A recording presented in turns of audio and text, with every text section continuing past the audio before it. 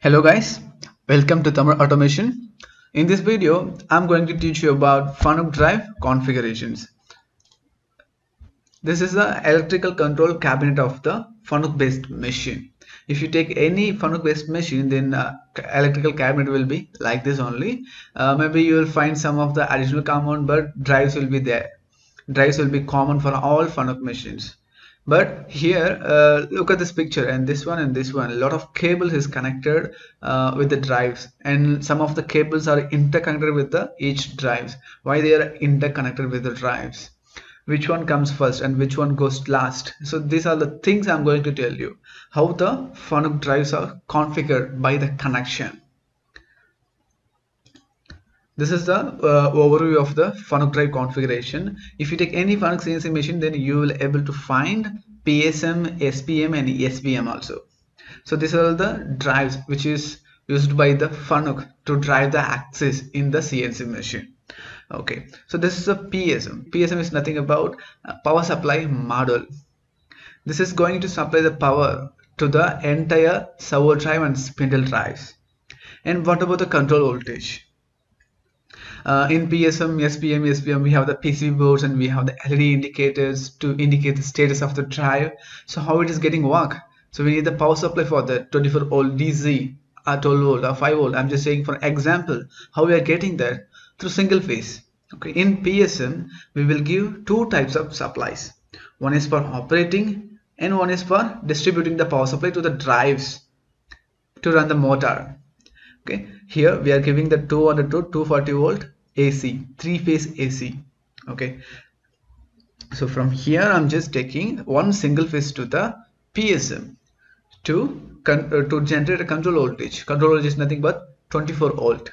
So here in PSM we will get 24 volt. That 24 volt distributed to the other drives to operate the PCB and other electronic devices and here we have the CB2 MC and AC reactor.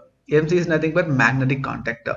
If there's any alarm comes in our machine mean first the MC will turn off magnetic contactor. So wiring will be like that. If there is any emergency situation or any alarm uh, emergency alarm that time this MC will turn off. Or if you press emergency stop that time this MC will cut off the power supply to the drives PSM okay so this is the general overview of the PSM. Here we are giving single phase to generate 24 volt to operate the all the drives and here what we are doing here we are giving three phase three phase AC for what we are giving? Okay to control the AC supply. Directly we cannot control AC supply. That's why we are making it a DC through DC we are controlling it and again we are converting into AC and uh, that AC supply is fed to AC motor servo motor so here what we are doing in PSM, we are giving three-phase supply and it is converting that three-phase supply into 300 volt constant DC and it, it is distributing that 300 volt via DC link. Here we have the two short bars plus and minus. So using this short bus, we are distributing the 300 voltage DC supply to all the drives. By distributing like this way and we are able to control the DC by controlling the DC we can we can assure that the positioning and everything speed control and everything in the CNC machine.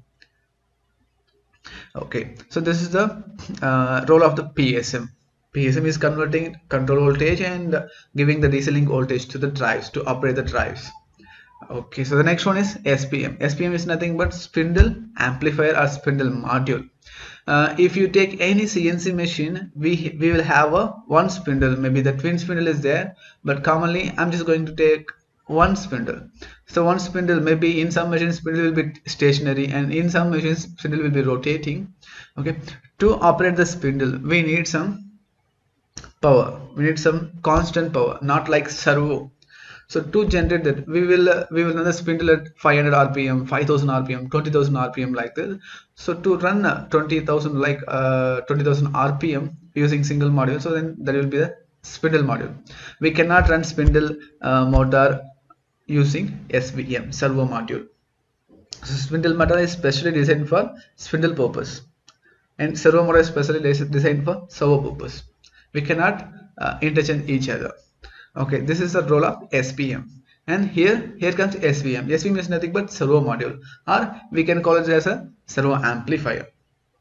So in servo amplifier we are giving input 300 volt dc and it is converting um, the dc into ac using igbts we will trigger the igbts according to our needs okay then that again the ac supply is fed to ac motor ac servo motor. Then uh, uh, we will control the position of the machine. And this is the servo module too uh, maybe uh, if we if we need additional access then here comes the svm3 so depending upon our application requirements and drives will be there.